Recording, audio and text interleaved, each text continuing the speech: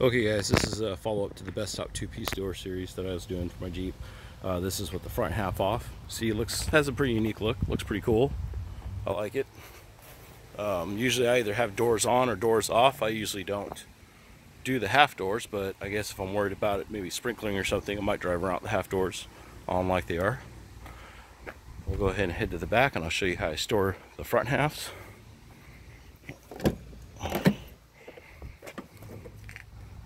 See right there.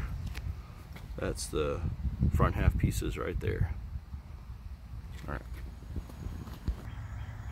now we're filming. As you see I got the back half pieces in here now.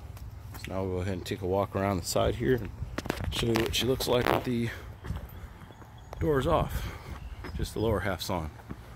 So so with just the lower half on there you go thing is, again, you better lock your doors because to get these doors off is pretty simple.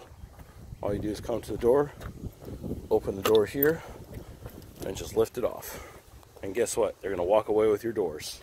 So make sure that you guys lock your doors on your truck.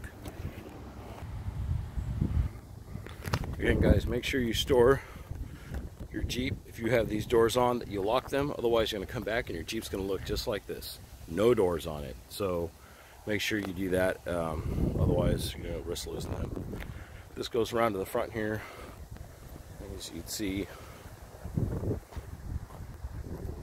doors are all off.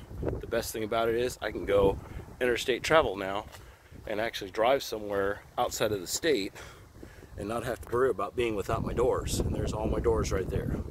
And again, they're all nice and locked inside this box here. I still have plenty of room if I want to carry a couple things in here that uh, I need to secure, such as a rifle or handguns or ammo or any of that stuff. Um, it's pretty secure. Even if someone were to break into the top of my Jeep.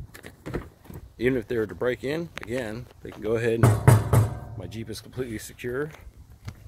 Going around to the front here, everything is nice and secure. There's no way for anyone to get into that box unless they have a blowtorch, a hammer, pry bar, or some way. If they really want in there, they're going to get in there, but it's going to take a lot to get in there, and someone's probably going to notice that. So um, a real bit advocate of these Tuffy boxes. Every Jeep I've ever owned, every Wrangler I've ever owned has always had one of these in it, and works out really well. I've done the homemade plywood stuff, eh, not so good. So these guys right here, it takes a lot. This piece right here will support 200 pounds plus of weight.